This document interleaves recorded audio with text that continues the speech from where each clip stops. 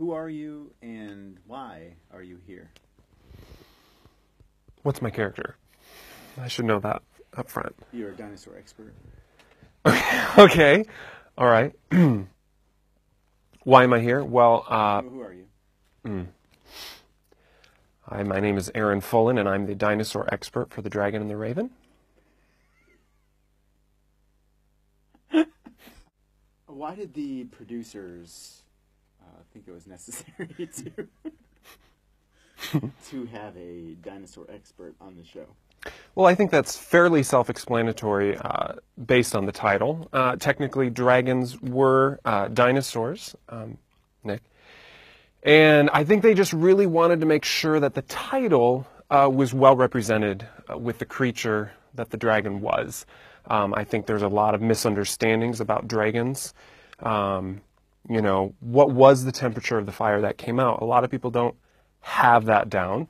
Uh, what color were their scales? That's huge. Um, you know, you can't narrow a dragon down to such a small thing. Uh, there's so much variety in that realm. Um, and executive producer Bill Hyde just really wanted to make sure the accuracy was there, and that that's my job.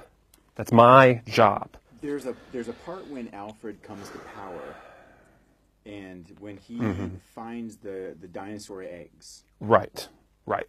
Great in in the wilderness, hmm and he he is he is uh, starving. He's naked, Mm-hmm. and all he has are these five dinosaur eggs Mm-hmm. to defeat the Danes. Right. The, the the way he hatched them is that up to even even by ancient standards were those is that good protocol? No, no, uh, not by any means. And, you know, I talked with the producers for quite some time about that whole scene. Uh, frankly, it's going to offend uh, a lot of people like me. Um, it's a battle I fought, didn't win, so that inaccuracy is imprinted in audio and will be until pff, these things go out of print, which hopefully sooner rather than later. There's a there's a an interesting scene where King Alfred, after his dragons uh, fly off to I think to the moon at that one that one scene. Mm, Jupiter, yeah. Sorry, Jupiter. Mm-hmm. Uh, he he commissions Edmund to build a dragon, Right. and it went pretty well. What kind of what kind of dragon did Edmund build? Well, it was. Um, see, there was that's another inaccuracy. He built more of a Lagthanon, uh, which is a little bit later in actual history, dragon history, dragonial history. Um, but in reality, it should have been somewhat of a Trachon. Uh, Trachons were popular during that time, uh, bigger, stronger than most dragons, therefore uh, wiped a whole bunch out. But the problem was uh, when they were usurped by the Langthians, they their fire wasn't as hot, um, and that really was their downfall. Um, dragons with hotter fire came in and boom, wiped them all out. The and this brings And that's why there's no bones. right. They're they're all ash. Yes. They did none of no bones and, are intact. and, and Christians generally ate the dragon bones. right. Was, hmm a, was a big part of that. It was So believed to help with the sanctification process. Yes, yeah. yes, For, the, there's a scene where um, it's probably my favorite scene. I think it's genius of when uh, Alfred brings in Guthrum into his throne room, and there is uh, this great dragon, and he says, "Guthrum, tame this dragon." mm, yes. Yes. And Guthrum has no choice but to ride the dragon. Right. And I think what's helped with that recently is the popularity of the movies How to Train Your Dragon, um, which you wouldn't believe how historically accurate this really was. Um, and Guthrum was one of the very first dragon trainers there was, and there were, was and were.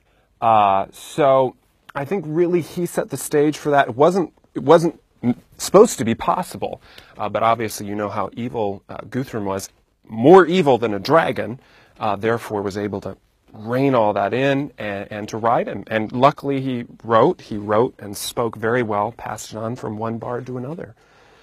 And, and finally, there's uh, there are many children that are going to be listening to this production. And as a as the foremost uh, dragon scientist, scholar, trainer, painter, artist, sculptor, um, There's more. What can you? Uh, sorry, I I feel uh, That's all right. really. Move on. Move on. I, I feel small in your in your shadow. Here. Right. Right. Um, what, what would be the lesson that you would give to the children who are going to be watching? Ooh, my goodness. Well, I'd want. I guess what's really important for me in this whole thing is that dragons are recognized. You know, they're not just things that were, you know. Um, I think people have this idea that dragons really aren't relevant anymore. And that's simply not true. That's why stories like this were written, is for people to know dragons still have a place. I think that's what I want people to walk away with. Thank you. Thanks. If you could turn that off, I'd really turn it off. Pete, turn it off.